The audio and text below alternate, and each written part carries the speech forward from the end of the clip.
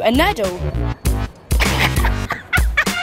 Hi, I'm Lauren from IMD and today I'm out in London trying to catch some Pokemons. Let's go. Gonna get this Chris Brown tree for Rihanna. Gotcha. Everyone looks scared of me. What the hell? Some little child and everyone's scared. Pokemon! Never thought I'd be able to catch a hipster chew. So I just found a Pokemon gym behind me. So I'm gonna go start some training.